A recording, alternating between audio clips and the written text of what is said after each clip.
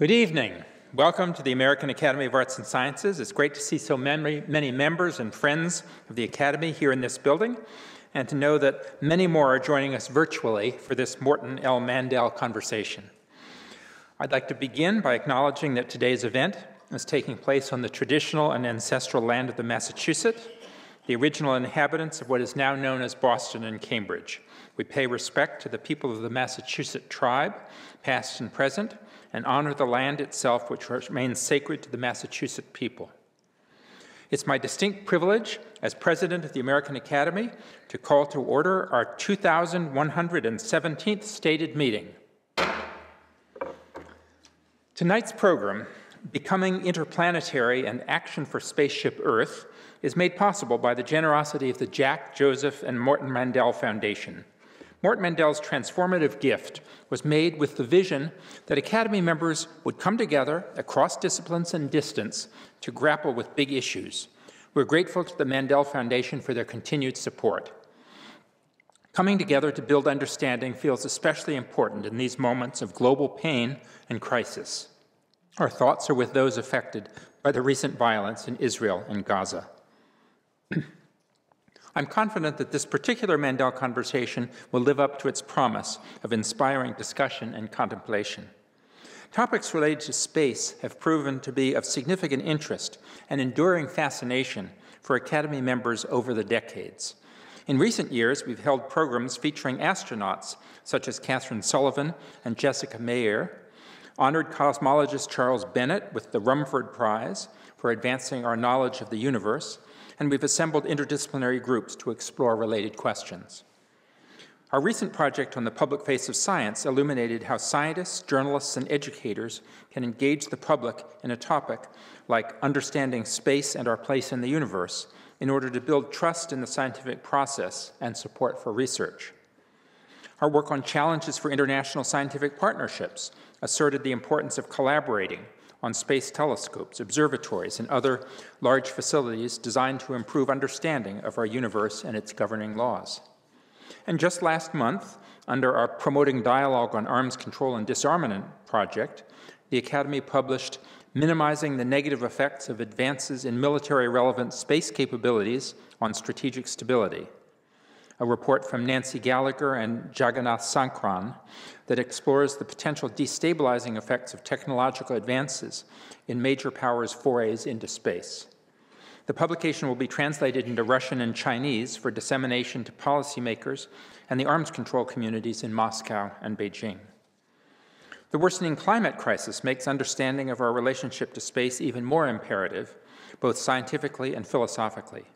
Next week, the Academy will release the final report from its Commission on Accelerating Climate Action, which offers a blueprint for a climate response that unites efforts across sectors and ideological divides. All this makes tonight's conversation on becoming interplanetary and the unifying concept of spaceship Earth perfectly timed. Our speaker, Dava Newman, has spent her career expanding our capabilities in space in a truly multidisciplinary fashion. As a scientist, her research in aerospace biomedical engineering investigates human performance across a spectrum of gravity, which informed her biosuit spacesuit invention. As a NASA administrator during the Obama administration, she was responsible for the agency's vision, leadership, and policy direction. She's also explored the potential for satellite data to inform and motivate the public for the fight against climate change. And now, as the director of the MIT Media Lab, she oversees a world renowned interdisciplinary creative playground that produces transformative technologies, experiences, and systems that enable us to reimagine and redesign our lives. The Academy and the Media Lab have much in common, as both organizations focus on using interdisciplinary collaborations to produce new knowledge and create a more just society. I know we're all looking forward to Dava's presentation, highlighting her work and the current initiatives at the Media Lab. Following that, there will be ample time for questions. Whether you are here in person or joining virtually, we have a virtual audience as well. Welcome to this event. In either case, I hope you will take advantage of that opportunity to participate. With that, it's my pleasure to turn things over to Dr. Dava Newman.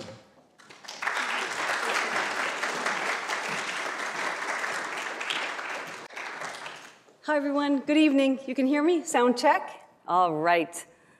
Well, it's my honor to be here at the Academy. Thank you for that very gracious introduction. And uh, so, without any further ado, I'd like to take you on a bit of a journey um, throughout the solar system, and then we'll come back here home to Spaceship Earth. All right. In all of exploration, we have three fundamental questions. I'm an explorer myself, and um, so I'm always thinking about this. Are we alone? Meaning in the universe? Are there other habitable planets?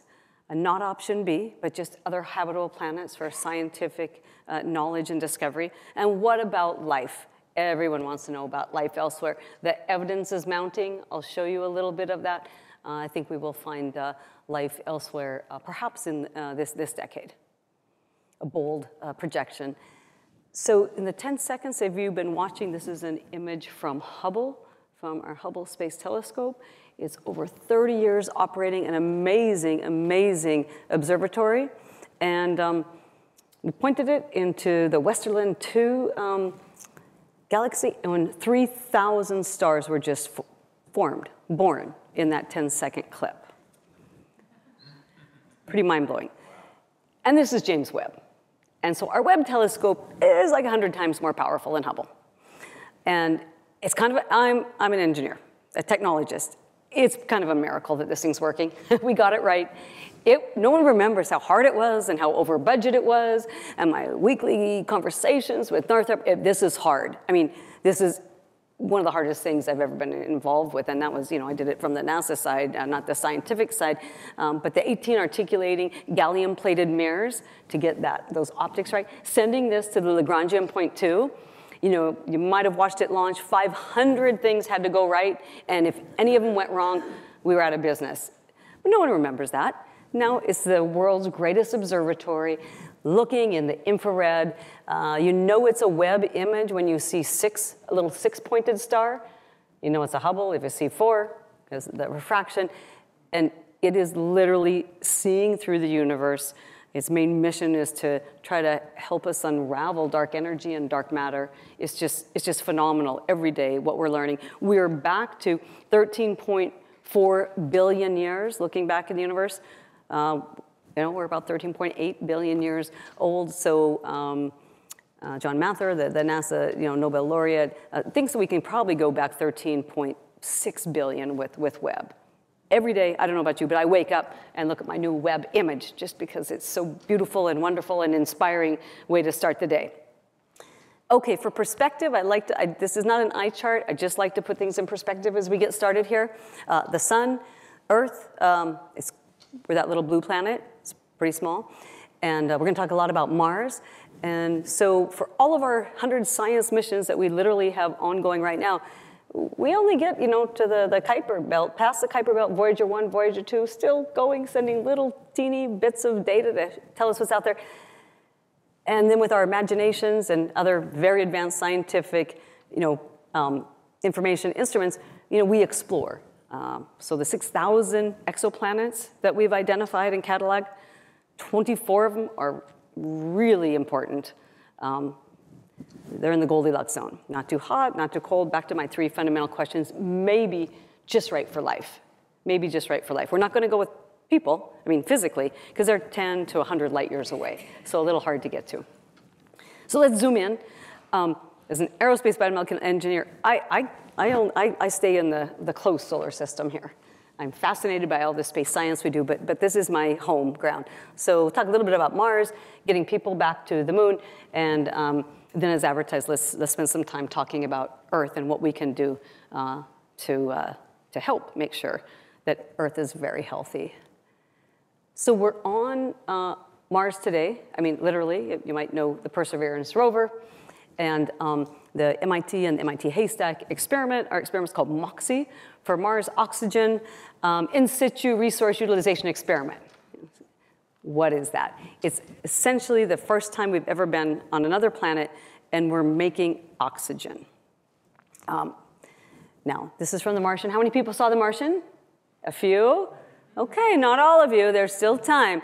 Uh, well, there's three things I got technically incorrect, and all the rest is awesome. We worked really close with Ridley Scott, and Andy uh, Chaikin wrote a great book. Uh, so I love The Martian, but we're the real Martians. Um, that was great that it made a big splash in, in Hollywood. We, that was not expected. Um, space movies usually don't make big splashes. This is great, this one did. But let me just tell you a little bit about the, the science and what we're doing on, on Mars today, um, literally. In MOXIE, back to MOXIE, our oxygen experiment is, uh, the, the chassis is right here. It's about a shoebox size. And um, so essentially, Earth and Mars are both 4.5 billion years old, sister planets.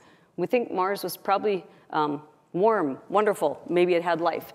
Um, Mars lost its dynamo, its electromagnetism, about um, 3.5 billion years ago. That's when things started going poorly for Mars.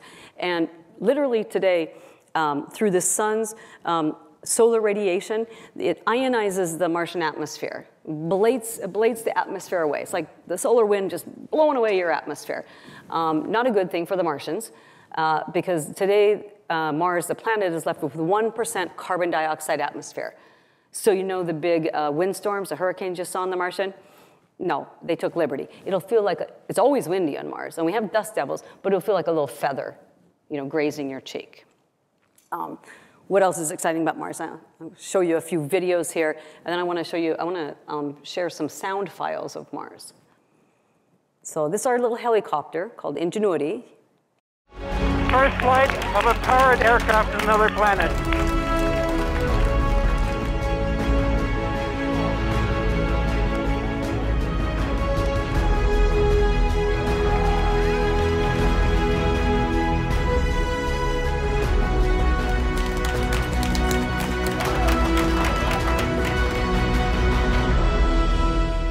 That was awesome. You can clap. It was, you know why it's awesome? Because we did revolutionary technology on Mars. Because the big rover, the rover's great. I love Percy, but it's just a big brother to the Mars Science Rover. Complicated landing. But um, we really wanted to fly new technology. And they said no, no, and, and tried to turn NASA into a yes zone. Yes, every mission needs to fly new technology, else we're not going to improve. So that little uh, 1.5 kilo helicopter, we just, uh, there really was no payload room. So we just strapped it right on the underbelly. And it's $50 million. Okay, it cost 80 in the end, but for a $3 billion mission, I think we got our value in ingenuity. Uh, and just because, uh, as you see, it's all about the people. It's all about the crazy people at JPL said yes, and, and their slogan is, you know, dare mighty things. So let's fly. You go to another planet. I think we should rove. We should fly. We want three-dimensional information. So little helicopters proving the next mission to Mars, the sample return, will have two helicopters on it. Um, so we can do these amazing things. Back to making oxygen, why would we want to make oxygen on Mars? Um, that 1% carbon dioxide, we split those carbon atoms off, we recombine elemental oxygen, we get O2. And you might think it's to keep our people alive. That's the secondary reason. The first reason is for a fuel depot, because when we send humans in the 2030s, it's round trip. It's the only ethical way to do it, round trip. And it would be really great if our fuel depot's just there waiting for us, and we load up and we come back home. Uh, and it, you know, it's the best way to do the mission. So first for, uh, first for propulsion, secondarily for oxygen. And um, we, it was an afterthought to put a microphone on the mission, and that's really important. Uh, cameras are number one important, and I'd say microphones now are number two to give the human experience. So here's what it sounds like on Mars. That's the wheels, it's pretty light. Here's, we're looking for life, we're looking for chemistry, we're looking for, you know, fossilized 3.5 billion year old life. So we're zapping lasers into rocks and doing a lot of geology. It is windy. If you can hear that, it's pretty light. The reason that these are so hard to hear is because of that 1% um, atmosphere. It's only 1% carbon dioxide atmosphere. So this final um, um, sonofile that I have for you is going to be recorded in ocean, Earth ocean, and then we'll take the exact same recording and you can hear what it would sound like on Mars to know the difference between Earth sound, if you will, and audio and Mars.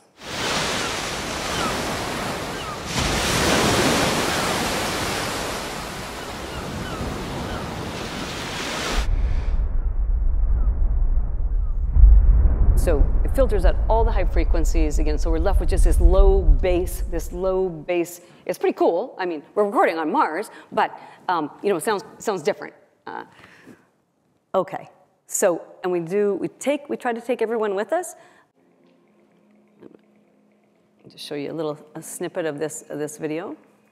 So uh, we've changed how we do science.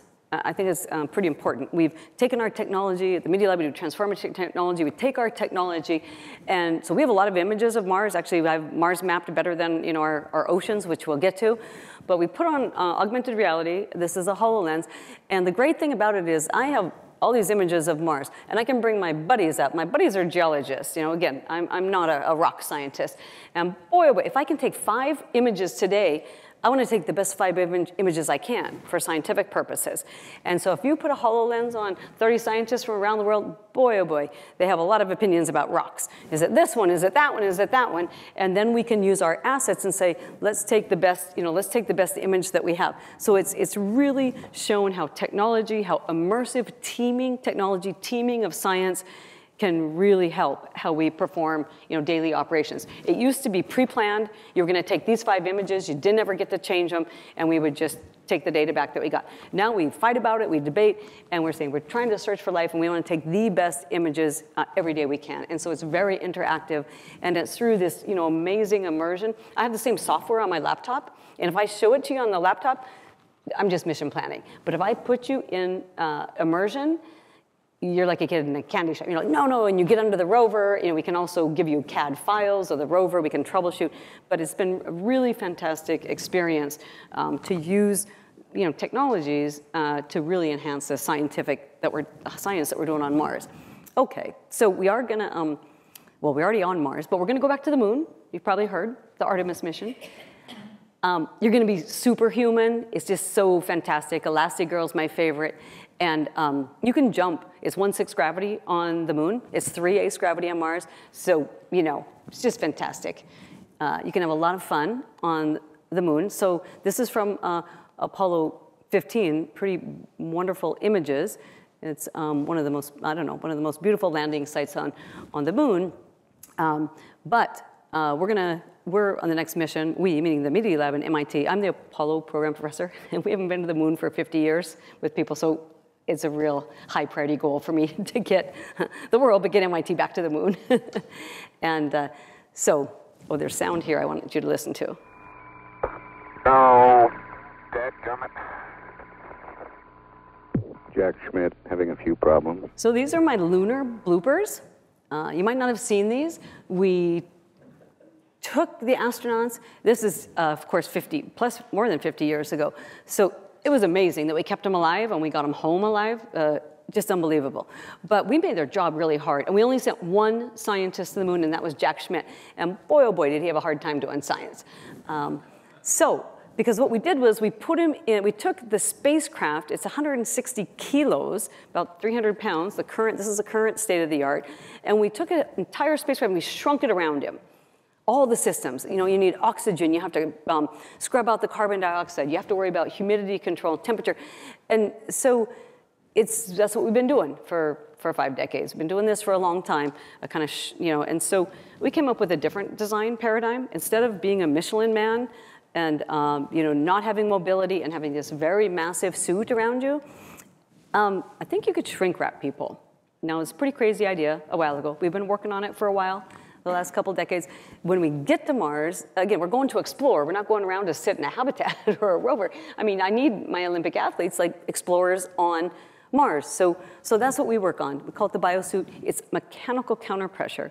Uh, what does that mean? Well, rather than shrink wrapping, shrink wrapping, rather than a pressurized, a big, a big balloon suit, I actually take 3D models of you, uh, and I start designing from the skin out. So it's a second skin suit. Literally, I have to apply 30 kilopascals. I need a third of an atmosphere. I have to squeeze you, mechanical counterpressure, a third of an atmosphere to keep you alive in the vacuum of space or my little 1% atmosphere at Mars, okay? Or the moon is a vacuum as well. So we do a lot of uh, mathematics, we do a lot of materials development, and um, it actually seems technically feasible. I mean, this is kind of a crazy idea because uh, no one had done it before. Uh, and of course, we worked in the past. There was some someone who you know had put some really interesting patterning out there. He hadn't done the mathematics, but I just thought it was a very interesting idea. You see the uh, circle and the ellipse, my little animation. What that is is imagine if you draw little circles, infinitesimal circles, all over your body. Because my design goals are I want you to have maximum mobility and I want a very lightweight suit. So an order of magnitude reduction in the suit and, and a whole bunch of mobility, because you have a hard job I'm finding life on Mars. And um, so if you, those two red bisecting diameters there, from the circle to the ellipse, they pivoted, but they did not extend. There's only one pair of the beautiful little bisecting diameters from the circle to the ellipse. They pivoted, but they did not extend. That's really important. In three dimensions, we call that the lines of non-extension, and uh, voila, you get a Spider-Man looking suit. I mean, there's a little more to that, but it's really elegant math. And um, so we laser scan people. We do you know, a lot of engineering analysis to try to say what material would I even need that could apply this pressure? How would I design the patterning of the suit that could enable my astronauts you know, to have mobility and, and flexibility? And so um, uh, a lot of design challenges. Um, we have to apply the right compression, again, a third of an atmosphere. Uh, we need to invent new materials. Uh, we have to actually get dressed, donning and doffing in the spacesuit world. You want to put on your clothes and take them off? A little challenging. By yourself, your friend doesn't get to help you. Because the current suit I just showed you, you can't dress yourself. You got to jump into the bottom, and then the other astronaut has to put the top there, and you kind of skimmy into the, the top. So it's much better if you can dress yourself, because you know I don't have a lot of spare astronauts on Mars. And then we integrated some new sensing as, as well. So here's what our latest uh, work looks like. And this is a joke. Uh, it is on a 3D, it's made on a 3D, um, a 3D uh, knitting machine. So we call it seamless. And it, it is seamless, actually. Uh, so let's see. There's a 3D knitting machine. I'm 3D um, scanned you already. I know that I want you to bend. I like 40% um, strain, if you will, here in the elbow. I'm a 30% negative strain here. So I'm thinking about that and coming up with a pretty complicated um, 3D knit structure, if you will. Sensing fibers, because I want a smart suit, I want to know how much pressure I'm applying to and I want to track your motion. Anywhere you go, I want to know where you're going. So I want to, so those are kinematic um, sensing embedded inside. See, there's my sensors. Okay, what's the pressure production? I want to track you, you know, see where your angles um, are going. And um, then let's see, so we invented these functional fibers, uh, this sensing, so it's just smart suit, tunable compression, and, and then it gives you a lot of mobility. The one thing, oh, and here we go, um, kind of zipper, uh, zip it on. And then we've actually used a lot of active materials, uh, shape memory alloys, those shape memory alloys to kind of cinch it up, like a double, a double cinch, and I can get the right pressure that I need on you. And um, we also invented, um, there's kind of black darkish fibers you see here, and that's actually um, carbon doped polyethylene. So we had to, and it gives us a little bit of radiation protection, which is crazy because I said, I'm not putting radiation protection in my suit. That'll make a more massive suit because you're used to going to the doctor and you get that lead sheath that, you know, slams you back into the chair. No, not for my spacesuits. But then we invented, we, the royal we, very, very smart colleagues that I work with at MIT in material science and mechanical engineering to come up with um, this carbon doped um, polyethylene. Who would have known? Uh, but that's the world's supply in that arm. So they made it into threads, but um, that's all we have for right now. Uh, but thermal control, radiation, uh, partial radiation control, only about 25% radiation control, and then this compression suit. So we will uh, become interplanetary. Real quick, people always ask me about, what about commercial space, Dave? What about SpaceX? What about all the commercial folks? Uh, they're great.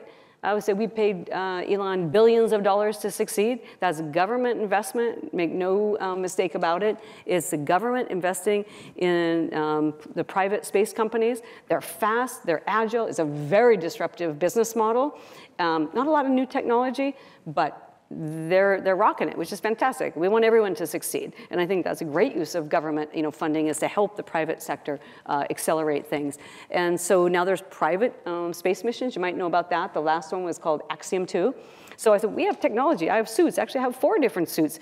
Uh, you've got to get in line. Uh, you know, and our ideas are a little too radical for NASA. But we have this called the skin suit. Now, it's um, to it, it's to go inside this. The you wear it inside intravehicular intravehicular activity or IVA. Outside the suit's EVA. This is just a, simpler suit, like a leotard looking suit. But, um, you know, there we are um, with a AX2. So, uh, you know, within six months, eight months, we flew this technology in space.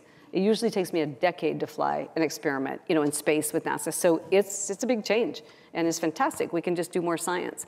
Um, so here's a couple snippets of this summer's mission.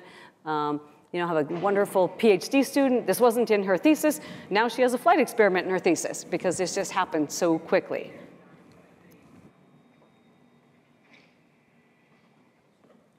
first time flyer, you know, astronaut, and he flew his commander, which you can see here, a shout out. You can't see her very well, but that's a shout out to, to Peggy Whitson, the most flown American astronaut ever, and the commander of this private mission. She didn't pay, the other folks paid. Uh, you want Peggy as your commander, just saying. Okay, let's see here. So, want to come down here now to, to Earth. And um, it is uh, you know, my favorite planet. Mars is number two. Um, but let's talk a little bit about you know, some of our work at the Media Lab and, and then a little bit of our, our kind of highlights from some of our, our climate work. Um, so it's a little microcosm of MIT. It's a real magical place. We have artists, you know, on faculty, a lot of scientists, a lot of engineers, but designers, and every problem or every area that we're doing research in, everyone's sitting at the table. And that's really important because, you know, I don't need a whole bunch of rocket scientists at the table. I kind of know how they think. I know how they are trained. Uh, you know, a, a musician or, um, you know, someone else, a biologist, a geneticist is going to make me think differently and, and probably Im improve, you know, my, my work and projects. So we all work together in these research groups.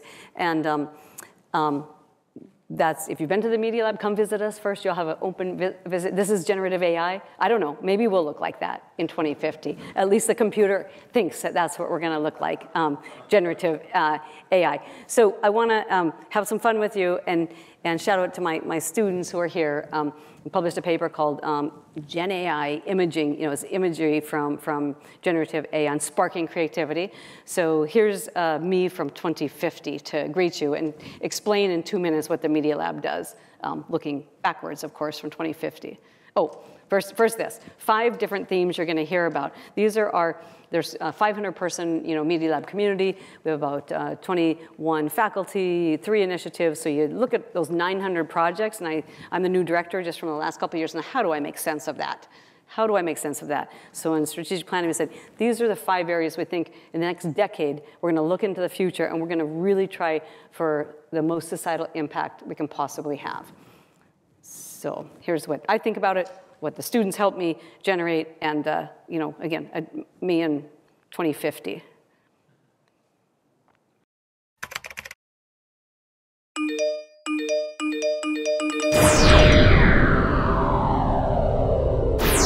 Hello, everybody. I'm Future Dava beaming back to you from 2050. I'm very happy to finally see you. The early 21st century was a fascinating era in Earth's technological history.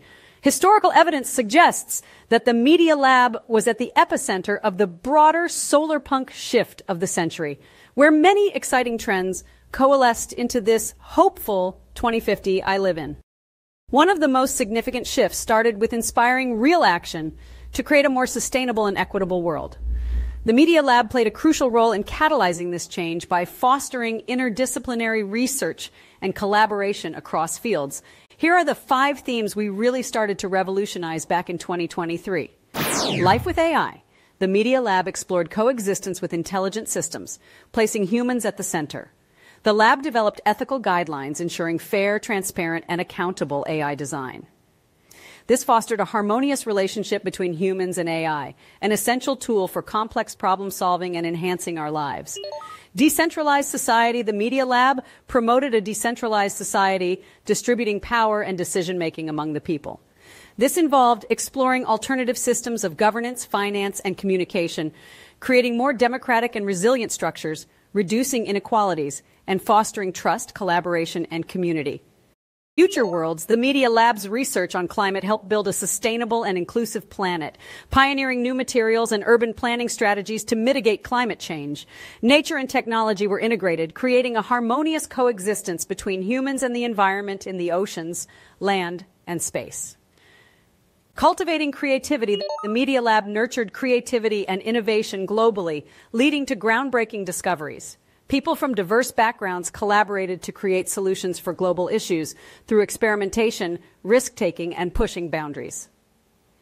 Connected Mind and Body, the Media Lab's research on the mind body connection revolutionized well being, developing personalized therapies and mindfulness practices that enhanced mental health and cognitive abilities.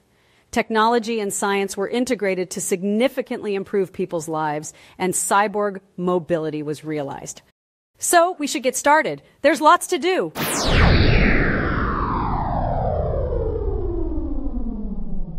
So those are all real projects we're working on, real areas. Um, I wrote the script, but uh, Gen AI is not, it's actually not my voice. I mean, it sounds like my voice, but it was trained on uh, actually just a few sentences of my voice. Yeah, so this is what's coming. I mean, it's already here. Um, I'm not afraid of it. It's not going to take over the world. It's definitely not too smart, but it's, it helps us. And again, the, the paper we published was like sparking creativity. How does it make me better? How does it enhance the human experience? That's uh, what we, you know, intend and how we intend to use our little co-pilot uh, AI, you know, daily.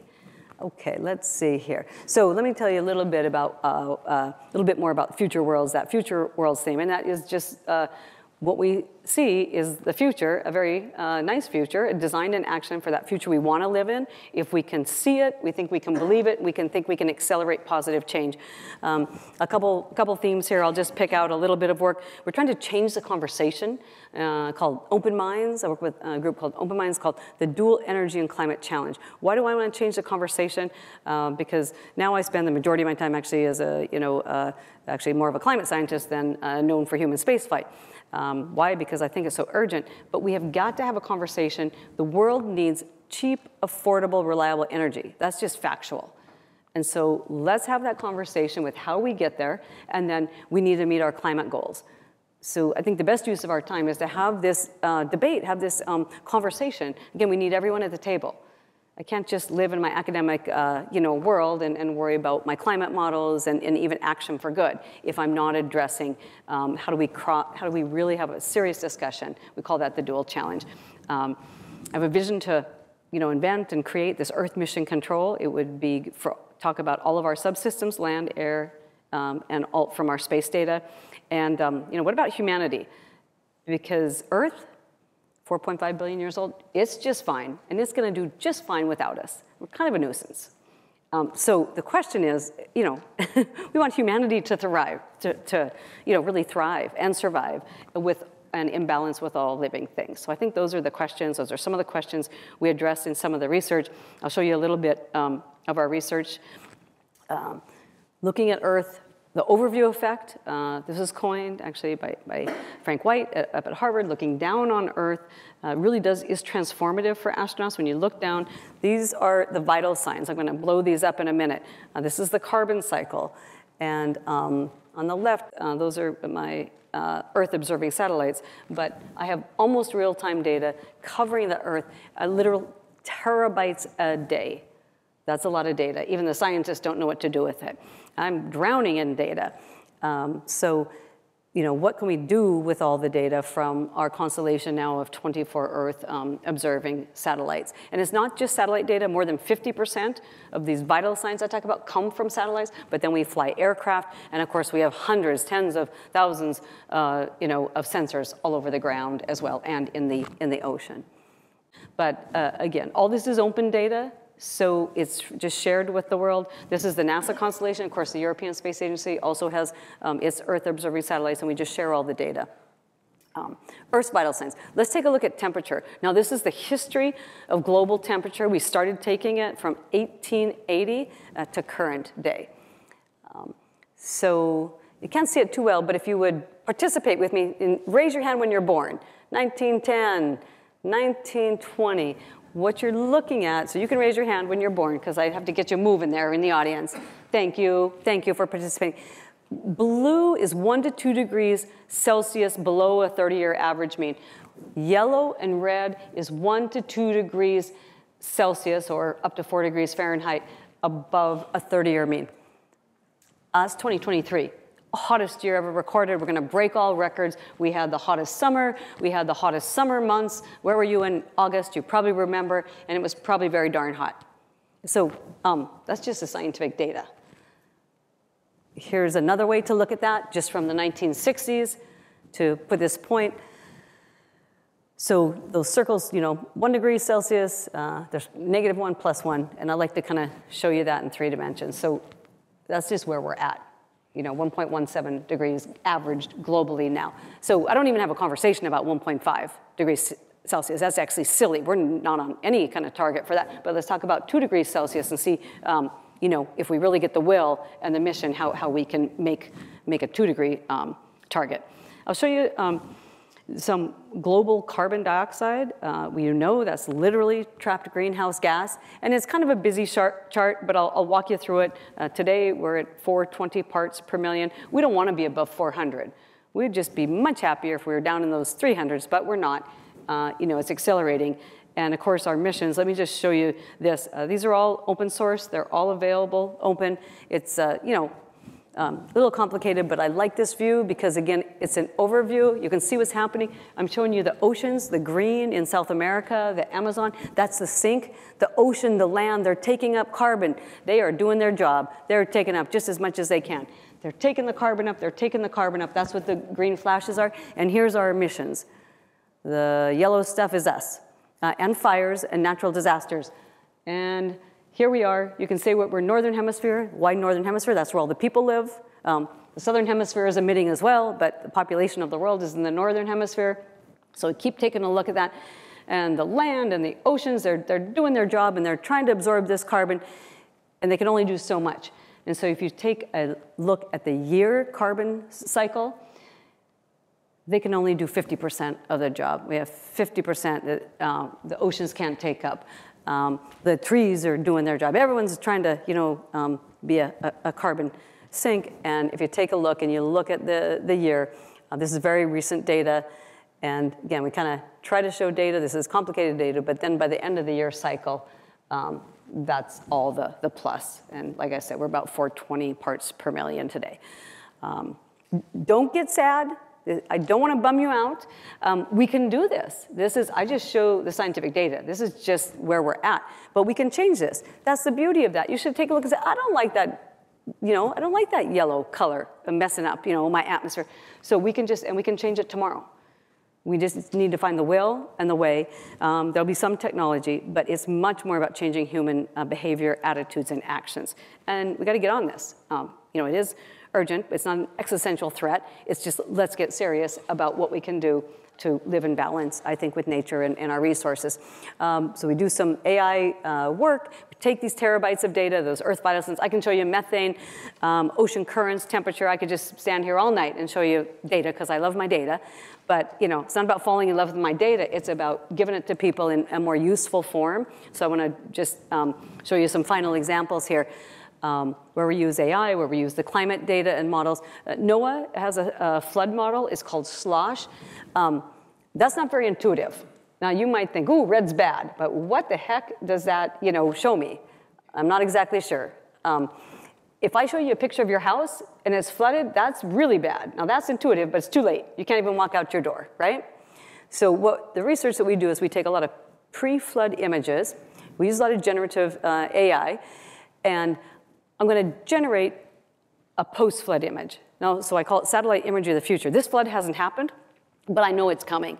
I just can't tell you when, but I know this is coming, and I know it's coming. This is data for Houston. It's for the Gulf Coast. I used to, you know, live in live in Texas and Houston, and um, so what do we do with that? Okay, up on the top, uh, this is infrastructure. It's houses, agriculture. On the bottom, I've generated those images, right? It's not fake data. I've just generated the images and then I put it in your hands. And the important point is that I want to put it in your hands because what you care about is your zip code, where you live, where your loved ones live, you know, where your family is, where your house and where everyone is. And, and now we want to put it into decision makers' hands. Mayors, um, get people out of harm's way before this flood comes um, because you can't drive in, you know, in that flood, and there could be loss of life. So we want to get these tools into people's hands, you know, just really to, to, um, to hopefully um, save lives during evacuation or natural disasters or things like that.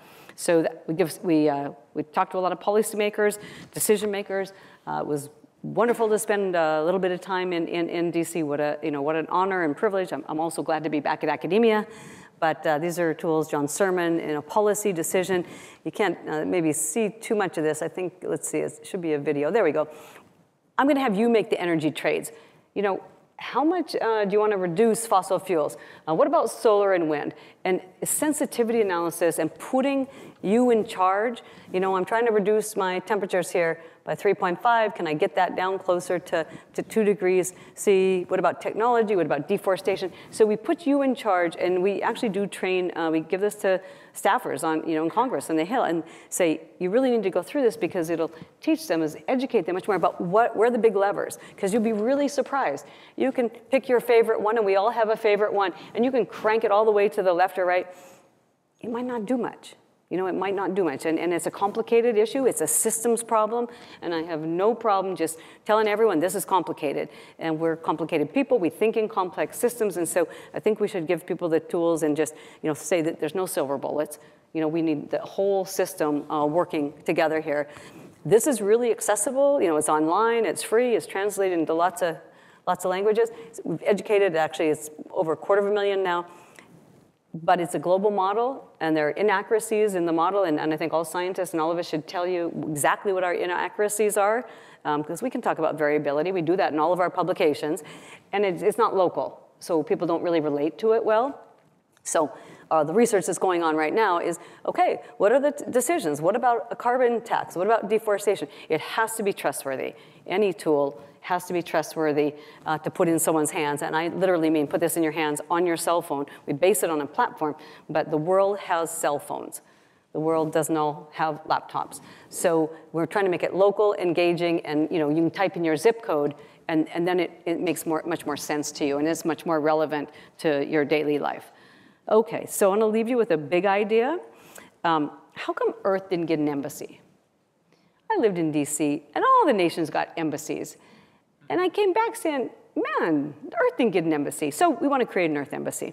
And, uh, you know, it has different pillars. It has, you know, the, you know, kind of an AI platform, kind of deep dives. And um, Earth Speaks, I want to give Earth a voice. I think Earth needs an operating system. It didn't come with an operating system. We get a car, it has an operating manual. Man, I have to go and look at that operating manual all the time, especially to, you know, change the tire and things like that. So, um, you know, that's what we're thinking about. How can we put people in mission control for Earth and, you know, and, and share the data, some of this data um, with people. And for me, the hope is the next generation. It's my students, and, and they're the ambassadors. So we call this Earth DNA, meaning data into action, training the next generation. How do we not just give them the data, but they're going to change, you know, hearts and minds. Hopefully, they're going to change actions, and they really are kind of the next gen gen leaders. So uh, I want to give a shout out actually to uh, you know all the folks who have course gone before and um, I asked how many people saw Martian, but how many people saw Hidden Figures? All right, maybe a few more, which is good. If you haven't seen it, well, it's a great book first. Uh, Margot wrote a great, great book. We were uh, privileged to, to, to work with um, the folks who, who made um, the movie. And, you know, it's not about just these three. It's about all of our computers. And of course, those computers uh, are women. Uh, computer software engineering is coined by Margaret Hamilton. And um, so it's really important that we know her story. Um, it's great to know his story as well, but I'm all about making sure that we tell everyone's story. And uh, then I think we can you know, address some of these huge challenges we have for, for you know, the five that I've teed up and other ones that you might have. Um, I do believe that the future belongs to all of us who just believe in the beauty of their dreams, maybe against all odds, as um, you know, our amazing uh, women, our mathematicians and, and computer scientists uh, before us. And um, also to celebrate a little bit of, of these women. It was, it was wonderful. Uh, we were there in the opening, um, and that's when uh, to, to take a look at um, when Katherine Johnson was still alive. And so we got to bring her to the opening in, in Hampton, Virginia. And uh, it was just really moving uh, with her daughter and, and all of the, the women that we got to interact with. Uh, so I'm glad she got to see that. I'm glad she got to see this, this movie and know she was very much appreciated and loved uh, by all of us. Don't you know that we're able? That alone makes us major we can all sit at the table. So that's my shout out to Katherine and all the women who have come, you know, before me, kind of opened up, up these doors. And uh, the point is that everyone, these are tough, tough challenges. So everyone needs to be at the table, right? Everyone gets a vote. Everyone has an opinion, and we got to get back to, I think, that civil discourse to uh, just you know lessen the divide that we have and to move on with you know this important work. Uh, very poignant now. Uh, thanks, David, for your acknowledgement. Uh, the world seems a little bit upside down every day. Uh, you know, with uh, wars and, and, and hatred and divide, and, and you know, I'm the eternal optimist, and I just think you know, there's a lot more folks who uh, want to do uh, the good work, the hard work. These are you know not easy discussions, but um, for sure we just have to have the persistence and, and, have that vision of the future and dream what just might be possible, and, and maybe we'll surprise ourselves. So thanks for your attention, and I think we might have a little time for questions as well.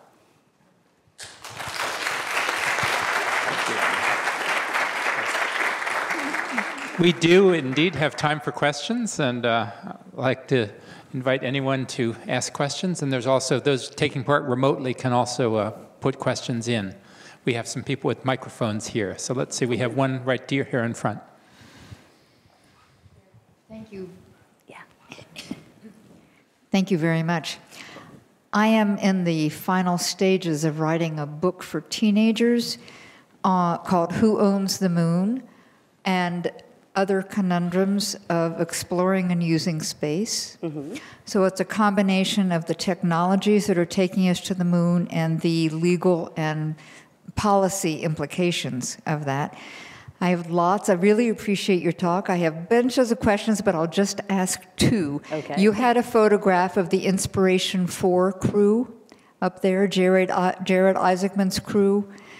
What? Say that again. I'm Inspiration 4. Yeah. The Inspiration 4? Yeah, you had a picture up there and you talked a bit about space tourism. So, one of my questions is the FAA is supposed to be making a decision either this month or possibly now in January about regulations mm-hmm. regarding space tourists, mm-hmm. which currently do not exist by congressional mandate. I'm curious about your view about whether or not space tourism should be regulated? My second question is totally different. One of my sources for the book is a NASA lawyer mm-hmm. who recently told me that he thinks it will be thousands of years before human beings populate Mars. And I'm curious whether you agree with that. Great, great questions, thank you. So, um, space tourism, yeah, there's um, you know some analysis and things. I'm sure you know there's a trillion dollar industry and things like that. We will have many, many more people in low Earth orbit. Space station, International Station, it's only 400 kilometers away, 250 miles, just like going to New York. So I'm convinced that we're going to have lots of people in space, and but low Earth orbit in particular. Um, I don't. I hope you know we don't repeat history. I hope we don't colonize anything. We've run that experiment, didn't work out too well. Um, so when we talk about the moon and Mars, this is deep space. They're both hard. Moon's only three days away, a little shorter. Um, I want to make sure I can send you know, my students to a semester on the moon. So I think we're going to have people on the moon. It's great um, proving ground for technology, technology development before we do a human mission to Mars. So um, will space with economically, um, will the business case close?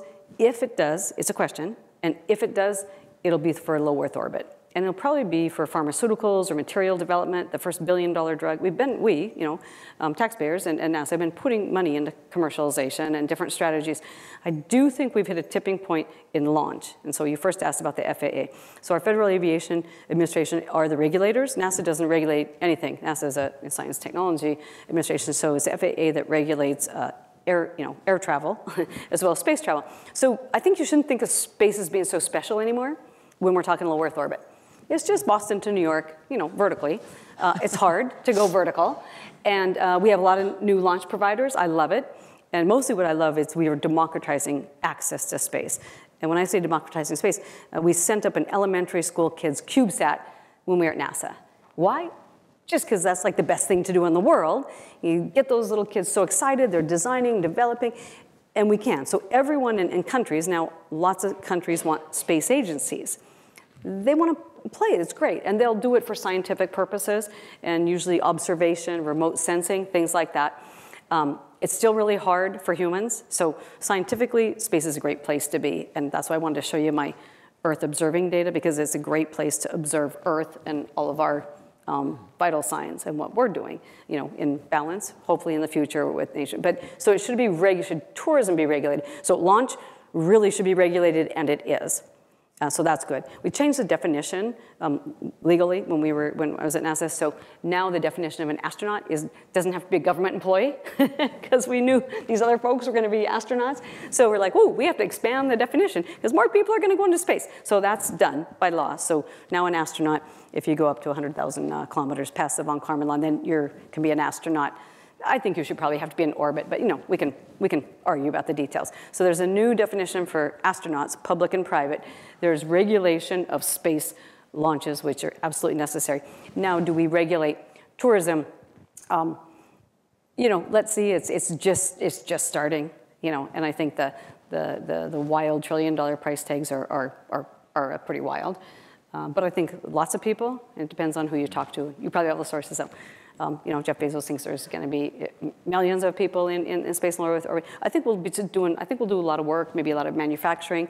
Again, maybe pharmaceuticals, maybe material science, and that'd be great to go into space and come back and just make it. It's just the next realm up. But I have a very different answer when it comes to the moon and Mars. We do that for scientific, um, peaceful purposes, is why I'd like to go find life on Mars with like a nice international crew. And I don't think there's ever going to be a lot of people on the moon and Mars. Why? It's really hard.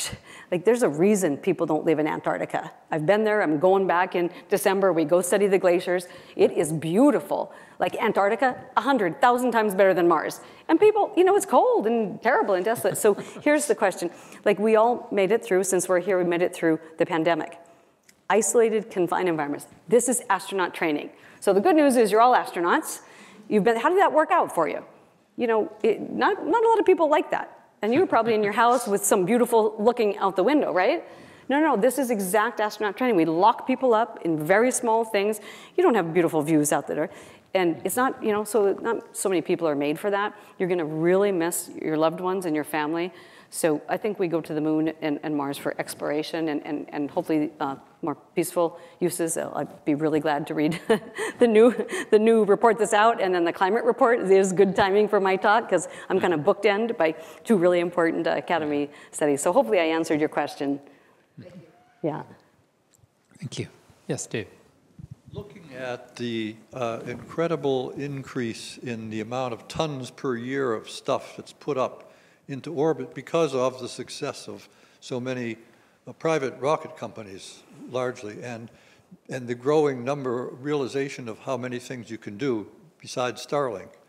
But at some point, there is a, an exponential growth of the space junk crashing into other space junk at 10,000 miles an hour and making more space junk. Mm -hmm. And I mm-hmm. wonder uh, how serious a problem you view that and, and what kind of political agency can cover the whole world and, yeah. and make some regulation about it? Yeah, it's a great question about. And also ground-based astronomy. I think there are concerns about. Uh, yeah, that as well. a little bit. I mean, the scientists actually have a loud voice, so I think that's one of the least problems. You know, as ground-based, it, it's, it, it's, a, it is a factor. We have collisions all the time in space. In low Earth orbit, you know, take a look at orbital debris. We track things, you know, actually centimeters. We don't even track things to millimeter or less. And um, it's, it's becoming um, very uh, populated, especially low Earth orbit. Geo, not so much. You know, there's other places to go and people are starting to, to shift some. But literally, space station, you know, as big as a football field, uh, you know, it's a pretty important asset for us up there. We actually have to waste propulsion, fire thrusters, and, and shift and move space station to avoid some orbital debris sometimes. Now, if you look at the Windows space station, they're really, they're like a half a meter Good thing they're a half a meter because man, it gets dinged, it gets dented. Uh, you know, we haven't had an event um, that is depressurized. Uh, I mean, the Russians had an event that depressurized, but that was a crash. Uh, um, you know, this is a pressurized shell. So, and it gets right into uh, you know, uh, international cooperation or competition uh, and militarization of space too, because a lot of the, the stuff that's up there is, is not, you know, from civilian space agencies. And um, you know, so uh, right now, I believe in soft diplomacy, trying to work with everyone. But, but um, yeah, space, space situational awareness, space uh, debris, space orbital debris in low Earth orbit is, is um, it's there. It's now what are our responsibilities? Um, I think the US, uh, Russia, China, and India have uh, most all the responsibility for this. The reason there's so many particles in space is uh, mostly because of anti-satellite um, um, incidents. Um, so when you have a satellite in there and you go shoot your own satellite up into, um, you know, you, you make, a lot of shrapnel on purpose. And what happens is that all stays in orbit, right?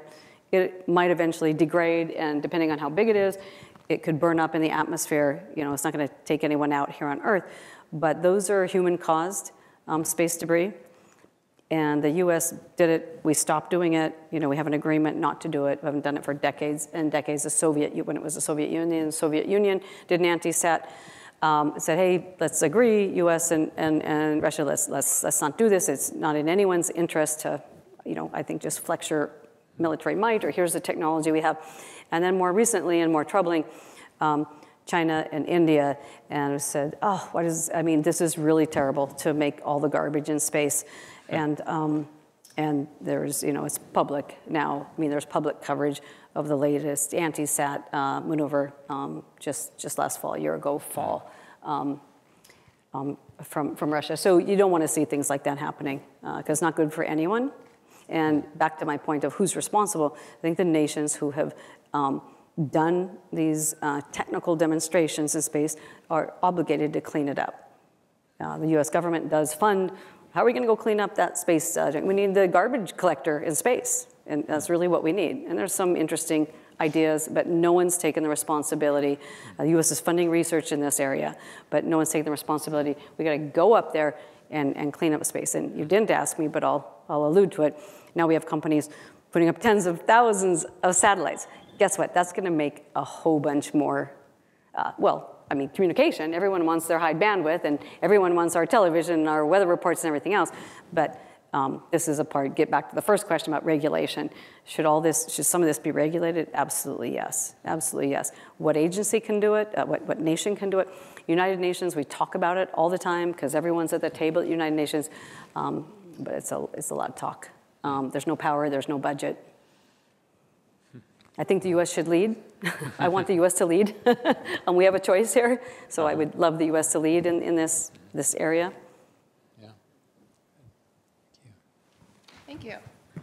Um, my question is about continuing our discussion on low Earth orbit. And um, do you think that we will use low Earth orbit for uh, purposes of medicine, just like the zero gravity conditions, et cetera, in the near future, I guess? Yeah, for purposes of medicine or for development of pharmaceuticals. Right? I think the answer is yes to both, yeah. Yeah, okay. yeah. yeah. Um, so you can make just, I mean, it's just amazing for crystal growth. We just make some such beautiful, you know, uh, materials and, and hopefully pharmaceuticals of, of the future um, that really target um, disease. Um, you know, of course, it's for Earth applications, for human application down here on Earth. So you know, even now, um, you know, International Space Station, it's the world's, you know, greatest floating laboratory. There's um, private companies who are now um, designing and developing and trying to find funding to have private uh, space stations up. It's, it's been a lot of work. We've been trying this for decades. And, and I think uh, people will invest and will have um, private um, space stations, orbiting platforms to continue to do science and education and, and let, let the tourists on board as well. But it was still a big question of is that really a, is it a, a closed business um, plan or not? How much are the governments going to have to fund for this? Um, but those assets, so, so low Earth orbit, uh, you know, assets are, are coming. I think we'll see a lot more. I think we will see multiple flying stations. We've kind of had humanity, we had one at a time. We had, uh, well, the Russians had Salyut and Mir, Mir meaning peace uh, in, in Russian. Um, we had Skylab, and then a big drought well, of course we had shuttle and everything, but we didn't have a space station, and we've had space station.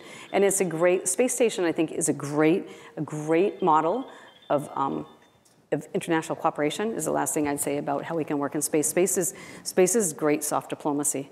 I have dear, dear friends, uh, and I've worked with my whole career in, in Russia. You know, we're scientists and engineers, and they know a lot about human spaceflight, and had a great mentor, and you know, we just try to work together. Given it could be crazy, high-level politics, and we just, you know, we're just engineers and scientists trying to do our work, getting our work done, and kind of have the same um, relationship, different dynamics for sure, uh, but with China, and there's U.S. law preventing um, NASA in particular from working with China. So, but I still believe in soft diplomacy. Thank you. How much do we worry about pathogens from Earth contaminating outer space? How much? Say it again. I just didn't hear. Worry about pathogens from Earth contaminating outer space. Oh yeah, it's a great question. So uh, NASA takes that very seriously, and there's a lot of research in this area. So we call it forward contamination and backward contamination. So bugs, we're just full of bugs, right? So when we get to Mars and we're looking for life, it's, it's actually life there. Like we don't want to bring our, our own life, but that we're humans, so that's what we do. So we'll have humans, and let's say, you know, in humans land, it has to be very, um, um, you know, we have to really take care of that we don't want to contaminate anywhere in space with, with human, you know, uh, pathogens. And same thing, we just brought back an asteroid sample, pretty cool. We launched that mission in 2016. So OSIRIS-REx is back home that's why it went, that's why it landed in the Utah desert, and that's why it went straight to a facility, uh, you know, of containment, confinement. Now we'll do the science, but we just take it very, very seriously. I mean, and that's, that's, that's an asteroid to see what the universe is made out of. You know, there's probably nothing alive there. I mean, um, that would be the shock of all shocks, but it just, it's the same point. We just have to have all the procedures in place for both ways, forward containment to avoid any forward containment or backwards um, containment. And since we're bringing samples, you know, we'll bring a Mars sample return hopefully in the coming years. And so we have to have um, um, all, all that in place. And we have, we in the US and, and NASA has, um, you know, a whole office for um, planetary, you know, containment forward and backward.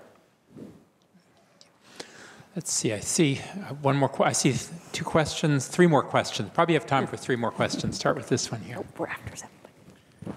Your talk is so inspiring and so many really cool things. Um, I was teaching a class today and talking about the 400 million people in sub-Saharan Africa who lack access to running water. So Africa will be the site of the greatest population increase in the next decades. And I wondered if in your vision of the future, how do you vision dealing with the global third world, and what sort of technologies do you think might be a help there? Yeah, so, um, you know, it has to, you know, if we reach our dream, it has to be for, by, and with all. It's, you know, whatever the saving uh, humanity has to be for 100% of humanity. And so given the, the rise in a, a, couple, couple responses, I don't have answers to that, but a couple of responses, when we think about energy and climate, that's why I mentioned, uh, you know, started meeting with like a lot of CEOs of energy companies. It's not usually what climate scientists do. Why? Because the world needs clean, affordable energy. The world needs clean water. These are, should just be human rights, I think, just basic human rights. Well, then how do we, how do we get to that state? So first we have to think about it, we have to dream it, you know, because we, we can't see it, we can't even get there. But so affordable, cheap, reliable energy for water. Um, you know, back to space is not the answer to your question. Uh, climate is real, climate um, uh, migrant migration, uh, immigration, refugees. You're going to see more and more. The world's getting hotter, and so people will be fleeing, fleeing their homes just just to live, just to survive. And uh, we measure that. You know, I have a lot of data on groundwater. You know, groundwater all over the world and what that looks like. Um, of course, the ocean. we have to think about the, the oceans and and you know. Um, can we, can, what can we do technologically, you know, in terms of um, providing uh, water, drinkable water from space? We've, you know, space uh, is um, brought you the best water for purification systems ever. Really uh, not very expensive, low tech. So giving that to millions and millions of people on, on land is like just one, one step in that direction. But we actually have really good um, water filtration because especially if you have water but it's brackish or you can't drink it or it's full of bugs, um, you know, filter that because uh, in space, we have very limited resources. So we know how to live with very, very limited resources. You know, it's a camping trip. Uh, you take everything with you. Every liquid in space, like, you know, all body fluids, all liquids I'm talking about, they're completely in a closed loop um, liquid uh, recycling loop. And so that's what you drink tomorrow in your coffee. So uh, that's what I think. Uh, some of, some of these might be very helpful, and they are. They're already being implemented. Water filtration, closed loop designs, where you can, you know, you kind of live with whatever resources you have, which can be really limited. Um, so island nations are great places to kind of look at this technology as well. Uh, kind of living in balance, but again, I think, I think those are some, just some responses, not a solution to um, providing, again, the world, you know, the, the basic um, um, kind of hopefully uh, rights for, for human survival, water, food, air. I read an article about the decommissioning of the International Space Station. Mm-hmm. I think it was scheduled for 2030 or something along Yep. that line. The question is, what impact do you see it having on the future ambitions for space? Oh, great. So what, yeah, great question. Thank you um, for speaking up. So um, yeah, we've been in space a long time. Actually, we've been in low Earth orbit for 40 years. Uh, you know, with our shuttle program, so, so we've been there a long time. So we have a lot of experience. We know a lot about astronaut performance and you know microgravity. So your question is like, yeah, what's the impact, maybe future going forward? So it's a big, glorious laboratory. It's fantastic. Uh, $100 billion. Um, it's very expensive.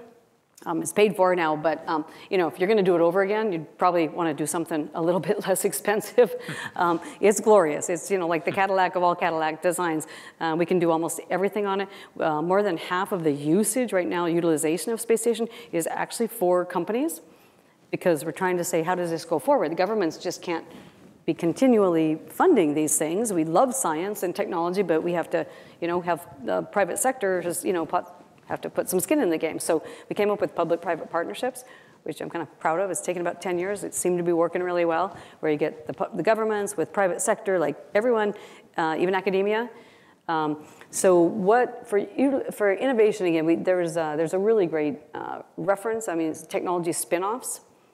And there's actually thousands and thousands of little technologies you might not think of that, uh, again, have dual use. Almost all the funding for space station, you know, we know that's only going to be for a few astronauts, and we're up to over 500 people who have been in space uh, from all countries. Uh, in, you know, but um, the important thing is what's what's it do for for for here on Earth? Because you shouldn't, I'm, in my opinion, it's not space funding versus Earth funding. It's just all that space funding that does push technology. It inspires a lot of the kids that I talk to. But you should always consciously be thinking about, you know, me as a technologist, okay, what's the what's the benefit for for Earth?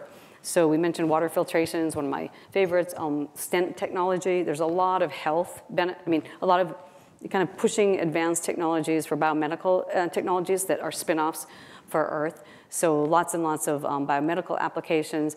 Um, just the, just the, I, you know, I think the imagery, uh, I think is very important. I can't quantify that, but I think people do uh, see Earth in a different way. If we show them, uh, you know, from space, this is what it looks like. I think the Apollo 8, you know, Earthrise, um, beautiful photograph. I think it changed humanity uh, for the better, for, for good. I mean, I think that was like maybe the most important photograph of last century. So your question is, okay, you know, how do we, what, what's happening forward in innovation? I think uh, there'll be smaller space stations. I think private sector will, will fund uh, a, lot of, a lot of that work. Uh, I don't know if the business case closes, and um, you know, yes, in my opinion, we should have uh, some good regulation so uh, we don't the technology you know doesn't quite get out ahead of us. And I think that what I love about space station is the international model. I think it's a really really great international model. It wasn't cheaper, it wasn't faster, but you know we have over 100 nations that are with us in space, and so for me that's really important. There's five main partners. European Space Agency is 23 nations, so that's quite a it's quite a nice international agreement and cooperation that we've been doing for decades. Uh, last question here. So regarding the big question, are we alone? uh, The, a couple weeks ago, I had the opportunity to attend a play called A Piece of Sky, which is about Avi Loeb. I probably you know Avi has been creating lots of uh, uh, excitement in the public because he's you know he's uh, research about finding uh, life outside the Earth, but also generates lots of uh, uh, you know controversy in the academia world. So I just want to get your opinions about whatever he's working on. Do, do you think that's a, a good evidence? A good area to, to find life, life The- the- elsewhere. I haven't I'm seen sorry. a piece of the sky. It sounds fantastic, Yeah. but um, and, and I love it because it sounds like you know a performance. Um, so um, yeah, I think I mean I think uh, I think we'll find life elsewhere. Like I said, chances are first it might just be 3.5 billion year old fossilized life. It'll be like fossil hunting, and we'll come back, and that'll be pretty spectacular. But um, I don't think we're going to have to worry too much about forward backward contamination if you know we find some fossils. Uh, we have a lot of meteorites, of course, here here on Earth. Uh, intelligent life, you didn't ask me about, but I'll you know take a shot at that question. um, surely, surely life exists elsewhere. Um, and uh, you know, I just have to, to think uh, intelligent life. Um, when will we find it? I, I, have, I have no idea. A full disclosure, I, I serve on the SETI Institute board. Um, so we'll keep sending radio signals and, and, and trying to find it. And, you know, um, I, we've been sending radio signals for the last, you know, five decades or, or, or more, even more decades. So we're already broadcasting ourselves.